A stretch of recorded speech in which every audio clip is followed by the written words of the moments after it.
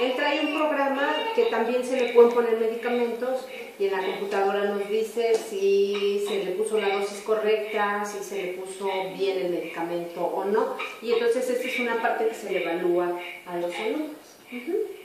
Y aquí, igual, así como le puede poner la maestra del programa, si está normal, si lo quiere con todo, si lo quiere llorando, si quiere ruidos respiratorios normales o anormales. Entonces al alumno se le pide que lo valore y cuando lo valora, el alumno debe saber ya si está eh, normal o tiene alguna, algún problema y él ya se lo manifiesta al profesor y el profesor es donde le evalúa.